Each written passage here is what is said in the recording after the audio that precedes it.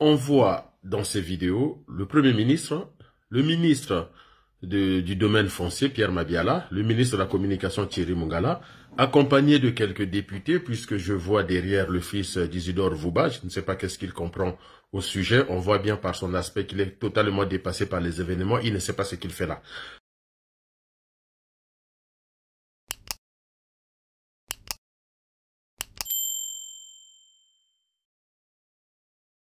Ce n'est pas grave. Dans cette vidéo que je partage avec la mienne, on voit le Premier ministre qui dit qu'aucune terre, aucune portion du territoire national n'a été cédée ou vendue aux Rwandais. Et il prend à témoin les Congolais, notamment de Louvakou et des autres contrées qu'ils ont visitées, en tout cas que sa délégation a visité, qui témoignent qu'on n'a vu aucun Rwandais ici. Et donc, on suppose que c'est un faux problème. Mais au final, au final, le Premier ministre lui-même, le ministre de la Coopération nationale, Denis Christel Sassou Pierre Mabiala, y compris l'ambassadeur rwandais, tous ont parlé des cessions de terres, tous ont parlé des contrats, 33 contrats, j'y reviendrai rapidement. Et plus encore, nous avons la télévision rwandaise elle-même qui parle d'une visite des Rwandais au Congo pour visiter les terres promises par le Congo au Rwanda, qu'ils ont, que cette délégation a pu constater la fertilité de ces terres-là et que les Rwandais qui vont utiliser ces terres s'engagent d'en faire bon usage et les témoignages des Rwandais eux-mêmes, certains, notamment le futur planteur de Pili au Congo, le futur euh, planteur de piment au Congo dit que j'espère avoir une bonne récolte. Et puis, comme le Congo a, une, a un port euh, maritime, eh ben, profiter du port pour exporter à l'étranger. Donc, si aujourd'hui, Colline Makoso, avec toute sa gang, nous dit que tout ça c'est faux, il n'y a aucune terre cédée, mais au final, à quoi joue le gouvernement congolais? Donc, ça suppose qu'on est en train d'exciter les Congolais pour rien, on est en train d'emmerder la vie des Congolais pour rien, on est en train de parler des sujets pour rien. Donc, l'ambassadeur du Rwanda qui va demander les titres fonciers à Pierre Mabiala, tout ça c'est du pipeau. C'est ce qu'on doit comprendre. Et que doivent faire les Congolais si demain, ils découvrent que sur leur terre se sont installés les étrangers? Qu'est-ce qu'ils font d'eux? Les chassent Les brutalisent Parce que là, quand même, notre gouvernement est en train de jouer, je ne sais avec quoi. Donc, je propose à Thierry Mungala, à Christelle Denis Sassou à Colline Makoso, d'organiser un débat public avec l'opposition que nous nous constituons. Je ne dis pas avec l'opposition de Tatima Biala, qui ne sert à rien, qui d'ailleurs nous traite des xénophobes si, si on refuse l'installation des étrangers chez nous. Mais les vrais opposants, nous qui sommes là, les vrais opposants. Donc, il ne peut pas me donner des leçons. Je ne suis pas moins congolais que Kouline Makoso ou Pierre Mabiala. Donc, vu que vous tergiversez dans ce dossier, eh bien, organisons un débat et nous avons des questions concrètes à vous poser pour que nous puissions tirer cette affaire au clair.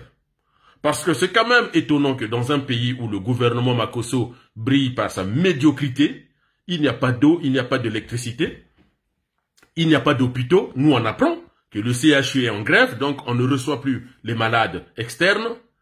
À, Pointe-Noire, vous avez des femmes qui meurent parce qu'elles ne peuvent pas avoir accès aux hôpitaux. Adolphe Sissé est en grève. L'hôpital de Patra, on nous dit qu'il n'y a pas de matériel pour soigner les gens. Nous avons les preuves que même les femmes enceintes ne peuvent plus accoucher à l'hôpital de Patra. Peut-être qu'aucune femme n'a jamais accouché là-bas. Et des femmes meurent à Pointe-Noire par manque de soins. Et on vous fait croire qu'on a des, des hôpitaux de renom. Donc, ce gouvernement a montré sa médiocrité.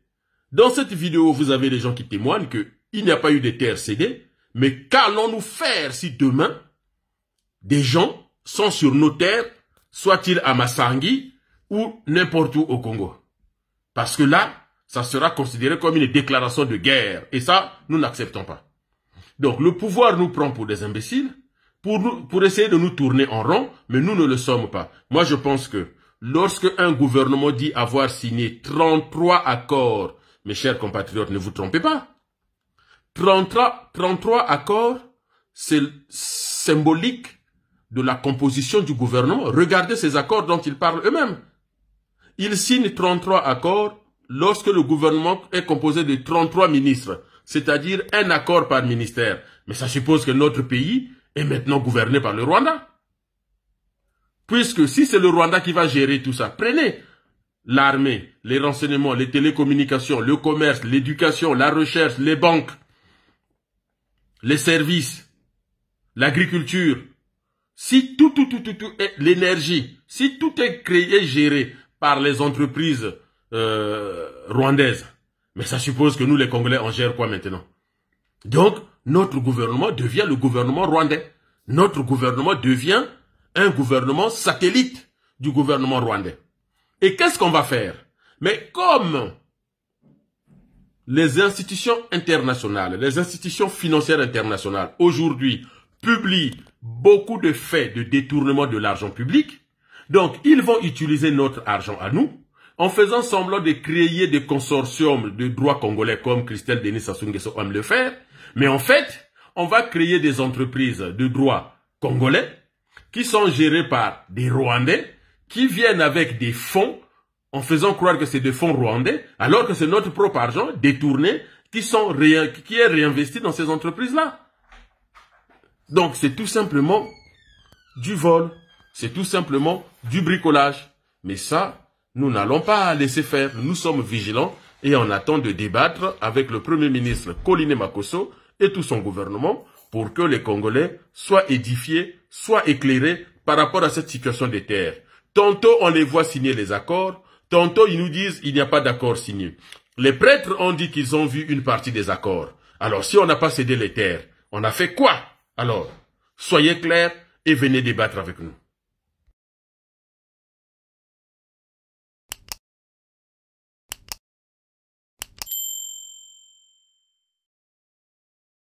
Comme le déclarait l'ancien président de la RDC, Laurent Désiré Kabila, l'empire Imak a besoin de territoire, des terres congolaises.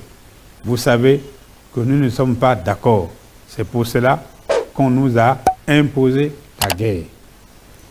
Au-delà des dénégations du Premier ministre congolais, l'État PCT a bel et bien cédé des terres congolaises au Rwanda en se fondant sur les dispositions de l'article 45 45 de la Constitution congolaise, cette session faite des autorités constituées, notamment le ministre de la Coopération internationale et le ministre des Affaires étrangères et des Affaires foncières, tous les deux puissamment soutenus sur ce point par le Premier ministre, constitue un acte de forfaiture.